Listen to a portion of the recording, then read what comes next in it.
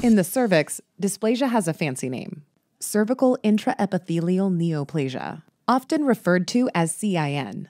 CIN is a precursor to squamous cell cervical cancer.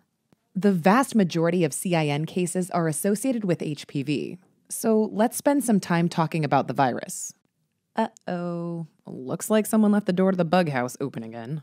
Recall from Sketchy Micro that human papillomavirus is represented by papilloma pill bugs. Now, this may look like the cutest infestation in the world, but HPV can do some serious damage.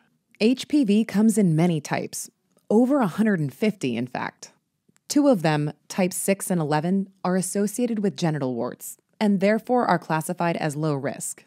Most other types, including 16, 18, 31, 33, etc., are associated with CIN and cervical cancer and therefore are classified as high risk.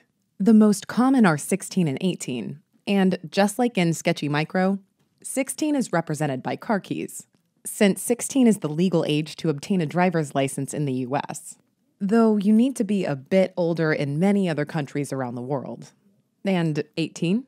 Well, 18 years old is a pretty universal standard for the legal voting age. And that's why this concerned Butterfly Garden employee is wearing the I voted sticker. So there you have it type 16 and 18 for high risk HPV strains. High risk means that these strains of HPV are able to integrate their DNA into the host genome, where they inhibit the cell cycle regulatory proteins P53 and RB.